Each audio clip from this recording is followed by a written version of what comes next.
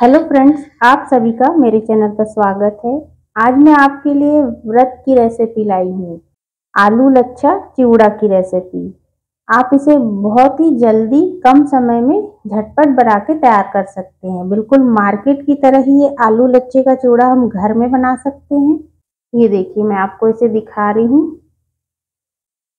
ये देखिए, मैं इसे हाथों से इस तरह से तोड़ रही हूँ तो आसानी से ये टूट रहा है। कितना क्रिस्पी और कुरकुरा बना है।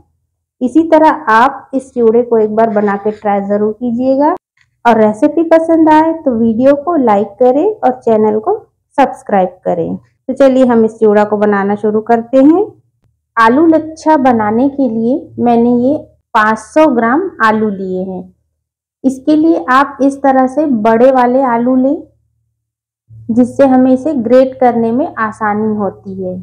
छोटे छोटे आलूओं से लच्छे भी अच्छे नहीं आएँगे और उसे हम ग्रेट नहीं कर पाएँगे।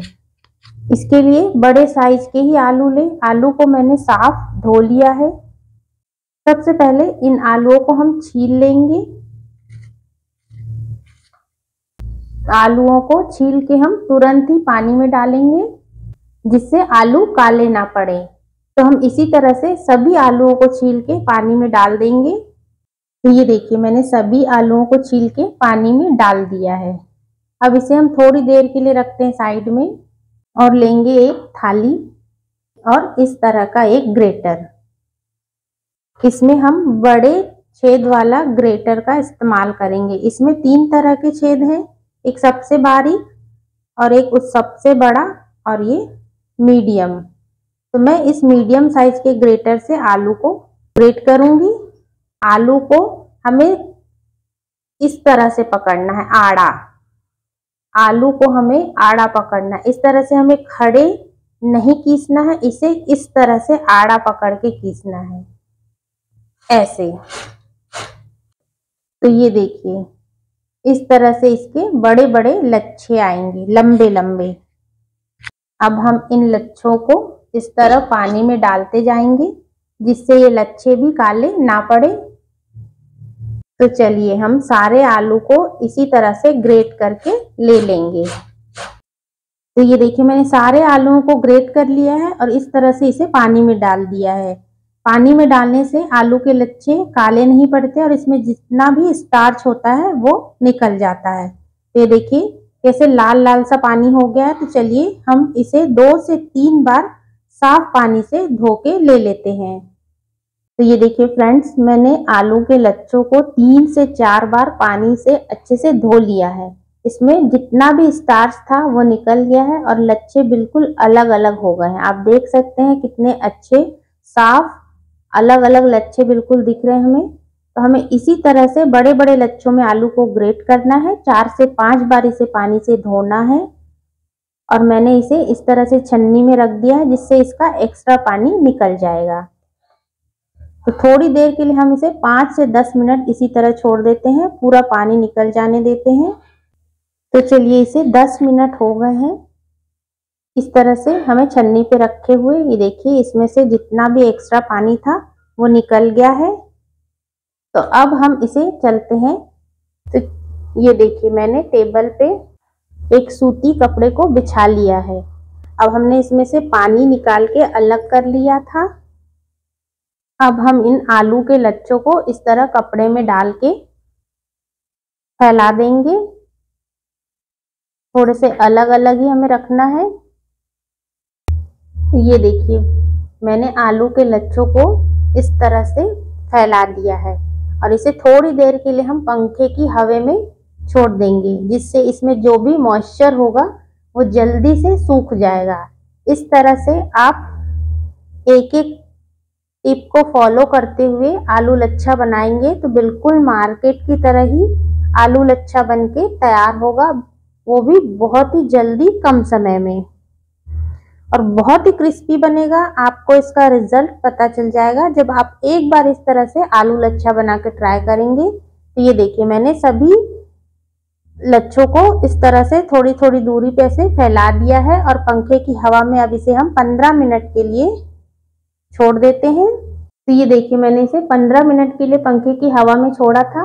अब इसमें से पानी, ये देखिए मॉइस्चर हाथों में बिल्कुल भी नहीं लग रहा है हल्के हल्के सूख गए हैं ये सारे लच्छे। तो मैंने इसे एक जगह इकट्ठा कर लिया है। अब चलिए इसे हम फ्राई कर लेते हैं। तेल को मैंने गरम कर लिया है। ये मैंने मूंगफली का तेल लिया है। ये रेसिपी मैं व्रत के लिए बना रही हूँ। तो आप व्रत में जो तेल इस्तेमाल करते हैं उसका यूज़ करें। ये देखिए मैंने एक लच्छा डाल के देखा है, इसमें बबल्स आने लगे, तेल अच्छे से गर्म हो गया है। अब थोड़े थोड़े लच्छे इसमें डालेंगे।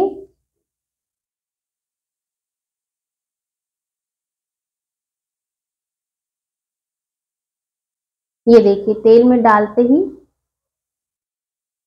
इसका कलर चेंज हो गया। थोड़ी देर के बाद अब इसे हम हिलाएँगे। तो ये देखिए फ्राई करते करते इसमें से अब झाग आना झाग निकलना बंद हो गया है। इसका मतलब है, लच्छे अब अच्छे से फ्राई हो गए हैं। अब देख सकते हैं, बिल्कुल भी झाग नहीं आ रहा है और लच्छों का कलर भी अब चेंज हो गया है। तो चलिए, अब इन लच्छों को हम निकाल लेते हैं। ये देखिए, इस तरह से हमारा ये एक बेच फ्राई हो गया है। इसे अब प्लेट में निकाल लेते हैं। ये देखिए। अब इसी तरह से हम दूसरा बैच भी फ्राई कर लेंगे। ये देखिए, जैसे ही डाल रहे हैं तो झाग आता है। हाथों को बचाते हुए डालें। इसी तरह से हम सारे लच्छों को फ्राई करके निकाल लेंगे। सभी लच्छों को फ्राई करके निकाल लिया अब हम थोड़े से मूंगफली के दाने इसे भी फ्राई कर लेंगे। ये देखिए, मूंगफली को भी फ्राई कर लिया है। मूंगफली भी फ्राई हो गए हैं। इसे भी हम निकाल लेते हैं और इसी प्लेट पे जिस पे हमने ये लच्छे फ्राई करके रखे हैं, उसी पे डाल लेते हैं। और अभी इसे रखते हैं साइड में। और अब उसी कढ़ाई में हम ये हरी मिर्च फ्राई कर लेंगे। ये देखिए, मैंने हरी मिर्च को भी फ्राई करके ले लिया है। अब इसे भी इसी के ऊपर डाल देते हैं। अगर आप कड़ी पत्ता खाते हैं व्रत में तो कड़ी पत्ता भी फ्राई करके इसमें डाल सकते हैं। हमने सारी चीज़ें फ्राई करके ले ली है। अब इसमें हम कुछ मसाले ऐड कर लेते हैं। अगर आप लाल मिर्च व्रत में नहीं खाते हैं तो इसे स्किप कर सकते हैं। इसमें एक चौथाई चम्मच में लाल मिर्च का पाउडर ले रही हूँ। ये कश्मीरी लाल मिर्च है, सिर्फ़ कलर के लिए। और एक चौथाई चम्मच जीरे का पाउडर ये भुने हुए जीरे का पाउडर है। और एक चौथाई चम्मच ही काली मिर्च का पाउडर स्वाद के अनुसार नमक डालेंगे। ये मैं व्रत वाला सेंधा नमक का यूज़ कर रही हूँ। और अब डालेंगे आधा चम्मच पीसी हुई चीनी, पाउडर शुगर। इससे बहुत अच्छा टेस्ट आता है इसमें। तो चलिए अब सारी चीज़ों को अच्छे से मिक्स कर लेते हैं। इस तरह से आप एक बार व्रत वाला चिवड़ा, आलू लच्छे का चिवड़ा बना के ज़रूर ट्राई कीजिएगा। बहुत टेस्टी लगता है। एक बार आप इस तरह से इस चिवड़े को बना लेंगे तो मार्केट से कभी नहीं लाएँगे और हर बार घर में बनाएँगे। बहुत ही कम समय में बन के तैयार हो जाता है। तो ये देखिए फ्रेंड्स मैंने सारी चीज़ों को इसमें मिक्स कर लिया है। इस तरह से हमारा ये व्रत वाला चूड़ा बन के तैयार हो गया है। वो भी 15 से 20 मिनट में। फटाफट बन के तैयार हो जाता है। आप इस तरह से इस महाशिवरात्रि पर व्रत वाला इस आलू लच्छे का चिवड़ा बना के ट्राई ज़रूर कीजिएगा और रेसिपी पसंद आए तो कमेंट करके ज़रूर बताइए। तो चलिए हम फिर मिलेंगे एक और नई रेसिपी के साथ अगले वीडियो में।